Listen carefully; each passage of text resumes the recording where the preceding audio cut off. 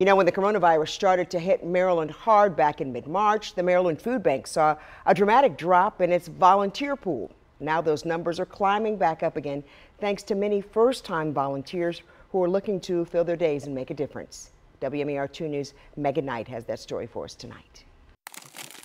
Amy Petritas has been volunteering here at the Maryland Food Bank for just about a month, and she's already hit her groove, sorting and packing food to give to groups like shelters, soup kitchens, and food pantries. The experience has been great.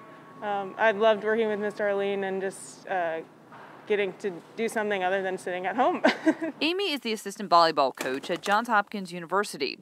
Their spring season is now virtual, meaning she has more free time in her day. And I figured that was something easy for me to do and um, easy to get involved. Fourth grade teacher Isabella Bowker is trading books for boxes, coming to the Maryland Food Bank a couple of times a week to pack food, or on this particular day, donated health and beauty products.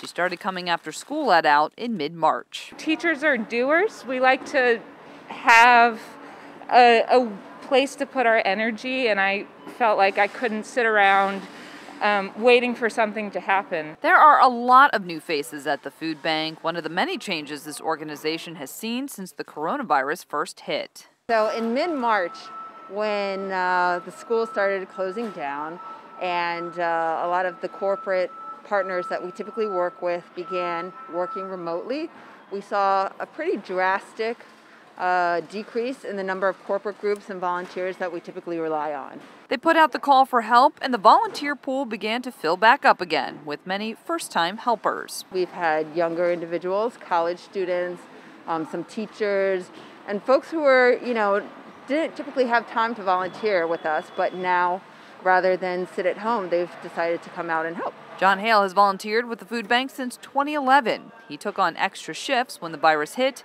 and says he enjoys seeing all the new faces. And it's great to see um, them come in and be able to help.